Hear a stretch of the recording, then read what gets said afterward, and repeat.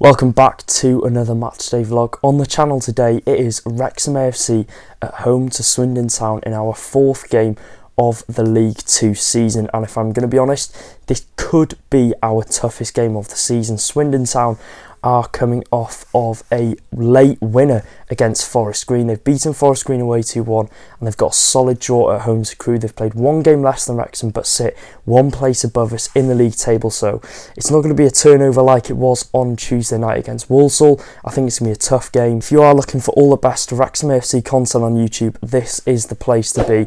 Get down there, click the red subscribe button for all the best Wrexham AFC vlogs, transfer news updates, news on the club, just everything involved with Wrexham AFC you will find on this channel this season.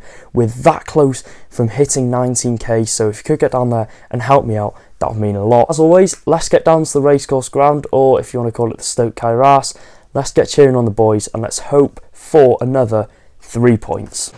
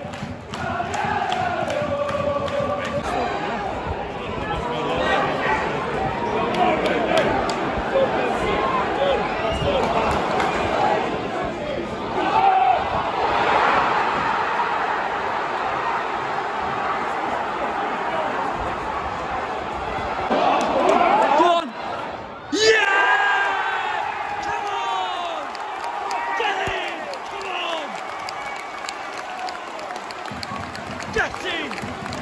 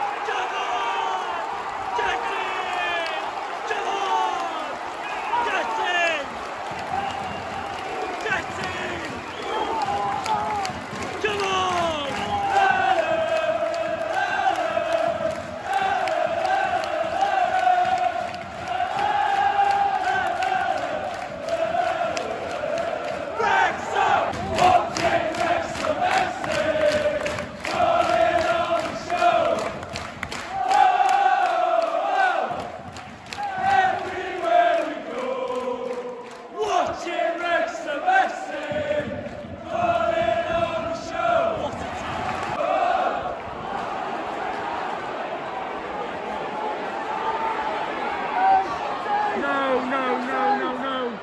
Shit.